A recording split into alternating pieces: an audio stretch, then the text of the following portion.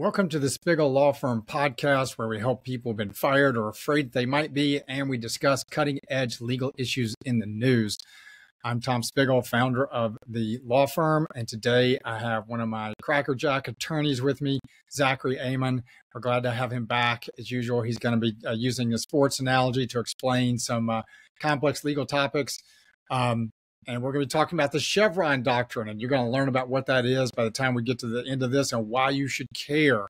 And just a little bit of a spoiler alert there was a Supreme Court case uh, just in the past month or so that overturned the Chevron doctrine, which is about uh, half a century worth of precedent on how we uh, deal with federal agencies. But before we do that, a little bit of legalese. Uh, this podcast is not intended as legal advice to you. It is for educational purposes, nor does it create an uh, attorney client relationship with our firm. If you want either of those things and you got it, you should hire a lawyer. And with that, Zach, welcome. Glad to have you back. Thank you. Thank you. So, um, yeah, we'll get right into it. Uh, you know, a couple of weeks ago, I was watching soccer on TV and um, there was an instance where the referee had to use the VAR system, which is the video assisted referee, um, to determine if there was a penalty. Uh, you know, and it's it's similar in other sports too, where you, you have the idea of the coach's challenge, right? And where that is is uh, the referee makes a call, the coach will issue a challenge, they go to instant review. Uh, it's usually done by uh, some somebody off site. Uh, you know, I know in the NBA they say we're going to go to Secaucus, New Jersey, because that's where the replay uh, uh, monitoring system is is housed. But uh, what happens is, you know, the referee will make that that in game decision, and then you go to the monitor for review. And in order to overturn a call, typically the standard is it has to be clear and convincing evidence that the call should be overturned. So, uh, in other words, the the referee's initial call enjoys some level of deference. So, if it's not clear that it should be overturned, it usually stands. Uh, you know, you have you have where it's the call is confirmed, the call stands, or the call is overturned. Is generally how it goes, at least uh, NBA and, or, or in football as well.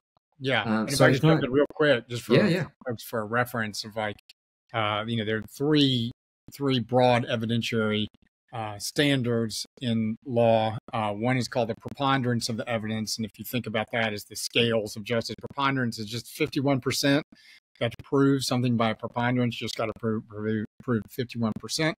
Everyone is familiar with criminal law where it's clear and where it's uh, beyond a reasonable doubt, right? You got a you, big, big hurdle that the prosecution has to, to surmount in order to get a conviction. Clear and convincing is sort of in the middle. So you got to have more than a preponderance. You don't have to have to have quite the beyond a reasonable doubt, but you got to have clear and convincing evidence. So just as a reference for folks. Right. That, that's exactly right. And, and, so then we turn to, as you alluded to in the beginning, uh, what happened a couple of weeks ago with the Supreme Court. Uh, so, Supreme Court, their term ends uh, in, during the summer. So, we're towards the end of their term. They're churning out opinions. Uh, and so, several opinions are, are released per day. But one that we want to talk about today is the Loper Bright Enterprises versus Raimondo decision. So, as a little background for that case, uh, that case centers on a challenge that the Loper Bright Enterprises uh, company, it's a, a, fishery, challenged the authority of the National Marine Fisheries Service uh, on, on a rule. And the case was brought by the company. It contested a rule that required fishing vessels to have to pay for um, monitors on the boats. So th- these monitors would go, they're independent observers that go and make sure that uh, the vessels are uh, compliant with federal regulations. The National Marine Fisheries Service made that rule. It was challenged in court, and uh, Loper Bright actually lost in the lower courts because of the the idea of this Chevron deference. So, what is Chevron deference? What does that mean? Uh, and it comes from a 1984 case, like you said, about 50 years ago, um, Chevron USA versus the Natural Resources Defense Council uh, we won't go into the details of the case specifically, but the doctrine addresses how courts should treat interpretations of statute made by these administrative agencies. So, in practice, what happens when a court reviews an agency's interpretation of a statute that it's responsible for administering, the court would follow a two step process. Uh, the first thing it would do is it would look and see if the statute was was clear on the issue. So if Congress had enacted the statute, it was unambiguous as to what was supposed to happen. if the statute was clear, then the court had to give effect to that un- unambiguous um, intent that Congress gave it. That's the simplest version. Uh, now, if the statute is ambiguous or it's just silent on a specific issue, then the court has to ask whether the agency's interpretation was reasonable. If it is, the court would defer to that agency's interpretation, um, even if the court might have interpreted it differently. And the idea for that is that agencies, you know, they have their experts. They have people who are, this is their job, is to get into the nitty gritty, technical details in their specific areas. And so the court reasoned that, the, that those experts were in a better position to make informed decisions on those types of issues. The difference there just recognize that expertise. The idea was to create more consistent um, and predictable regulations for various industries uh, it was a really powerful thing for the agencies because it, it empowered them uh, by giving them more leeway to interpret those vague statutes, which inter- in turn affects how laws are implemented and how they're enforced. Uh, particularly uh, if you look at how Congress makes a law. You know, there are some times where ambiguities are part of the package. They're built in by design, and that's either to secure enough votes to pass the law in the first place, or because they recognize that the agencies would employ these experts to really understand the nitty gritty and get into how to enforce things. So they were kind of like, let's leave the little details there. So the Loper Bright case changes all of that. Um, in the case, the Supreme Court actually overturned uh, the idea of Chevron deference. And so uh, Chief Justice Roberts wrote that Chevron deference actually conflicted with the Administrative Procedures Act because the APA contemplated those ambiguities would actually be resolved by courts and not the administrative bodies, not the experts. Um, several other justices they filed concurrences uh, that that presented Chev- Chevron deference as a separation of powers issues. Um, so the idea is that the courts are responsible for interpreting the law and not these administrative agencies, which are technically under the executive branch. So what does that mean for us? Uh, and what does that mean generally for, for for our listeners? You know it could mean nothing. It could mean that nothing changes. Um, the chief justice wrote that this did not overturn any of the prior decisions that were made using chevron deference but i'm going to suspect that there's probably going to be more challenges made based on new rules that come out uh, from these agencies and where it affects us in particular the Equal Employment Opportunity Commission, the National Labor Relations Board, the Federal Labor Relations Authority. Uh, that's just to name a few. Um, another recent Supreme Court decision around the same time uh, is a corner. The the company there was called the Corner Post um, Incorporated. Um, it changes the statute of limitations for challenging rules um, that are made from administrative agencies. It used to be where it was six years from the time the rule was implemented now it's six years from the time that it affects a company. So, you know, I I can envision a scenario where a company is created purely to challenge uh, a rule or regulation that it that constrains it now that Chevron's been overturned. So a lot of really big things that could be coming down the pike. Again, it's it's so soon now to really understand how it will go, but there's been a lot of speculation on which way it could go, and I think either way it goes, it means a lot of changes are coming. Yeah, I think that's that's right. Very uh, an excellent summary.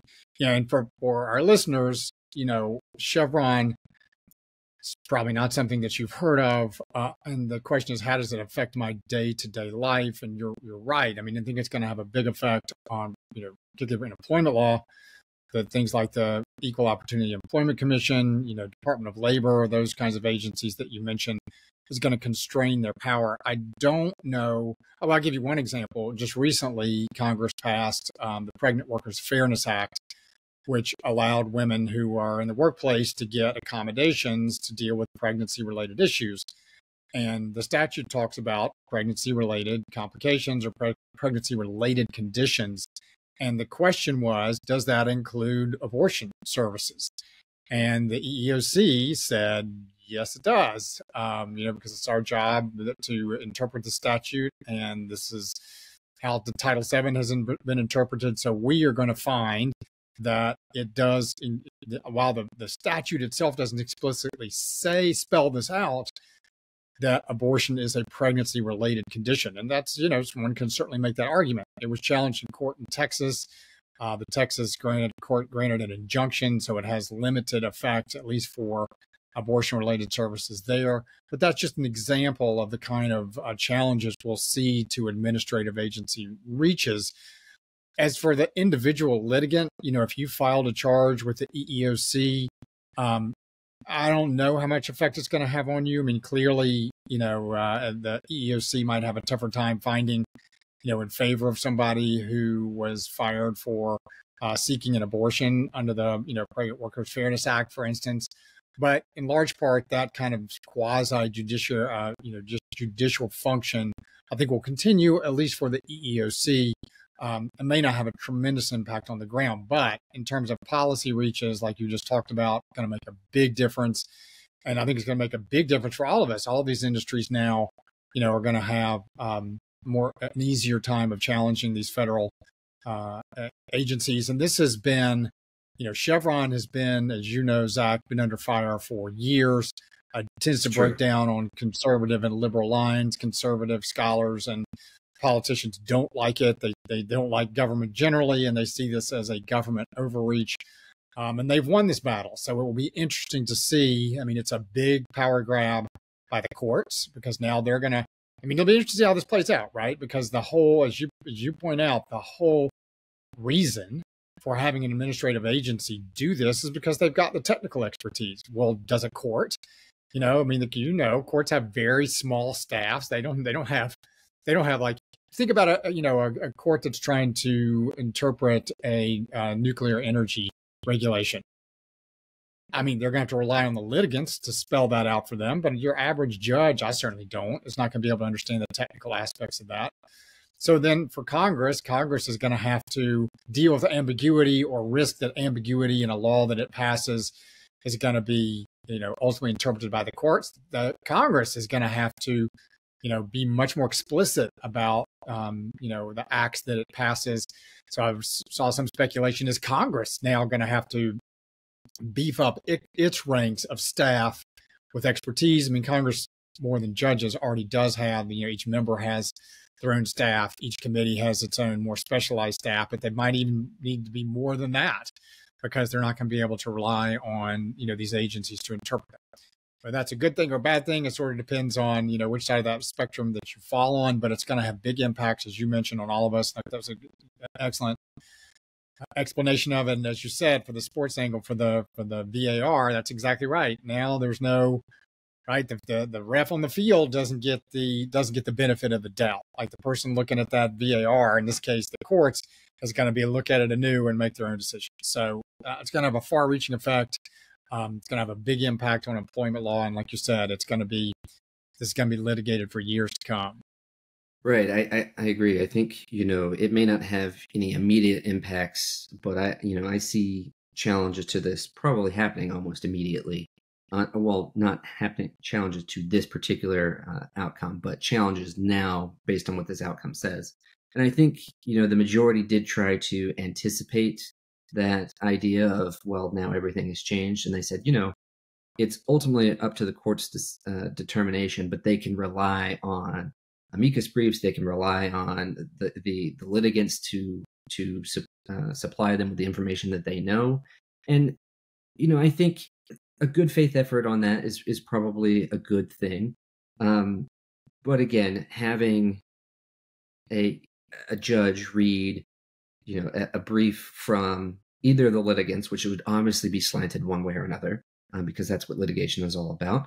Um, having a, a, judge read a brief, an amicus brief from, uh, you know, an industry uh, expert is probably going to be helpful. But then again, you have to think about if there's any slanting in is that as well, um, where maybe that's not necessarily the case under Chevron because the experts, uh, you know, I, you know, there's probably the argument the experts might have a slant based on what administration is currently in power at the time, which is I I, I hear you on that, but I think you know in those cases, whenever they have the time to do the research to to go into what makes a rule or regulation rather than um, look reactively to uh, litigation. I think that there's a lot more time and a lot a, a, lot less pressure to quote unquote get it right because it's you're making the rule rather than interpreting uh, or potentially overturning it with high stakes all around. But I, I, I do I, I, do hear that there have been several cases the Supreme Court uh, this term where they essentially said we might not agree with this decision, but this is what the law says, and if you want to change, Congress has to do it. So a lot of pushback on on on Congress this term and saying, Congress, do your jobs, get things done. If if if laws need to be changed, you need to amend them. And that's not, and the courts say that's not our job. Our job is to interpret, and that's what the law says. Whether yeah. whether that happens or not, I don't know. But yeah, I, I think that's see. right. It's going to, like you said, it's going to be spooled out over years and perhaps decades to come. And I, I don't, you know, want to overplay this is a big decision, absolutely. But Chevron has been under attack for years. Uh, you know, conservatives have been gunning for it uh, in the courts with some success. So its reach has been whittled down, and we've certainly seen courts who, um, you know, even if they are they are in some sense granting deference, they're not shy about overturning agency regulation. So, you know, this has been a process that's been happen- happening for some time, and I, you know, I don't you know, I want to look at it completely through uh, uh, political terms because it's not just about that. But there, I mean, I have colleagues who are on the on the, the the left end of the spectrum who are immigration lawyers, and they were thrilled that Chevron was overturned because they're sick of, in their view, of dealing with, you know, sort of these um, agency figures who, in their mind, are are you know kind of power hungry and difficult to get around and so I, it, you know, both as a policy matter and as a legal matter, this one's going to be playing out for for some time.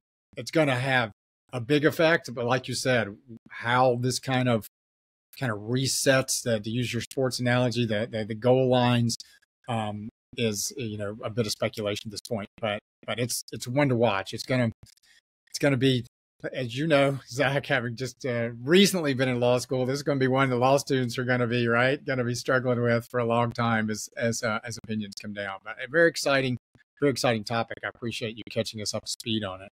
Of course, of course. Yeah.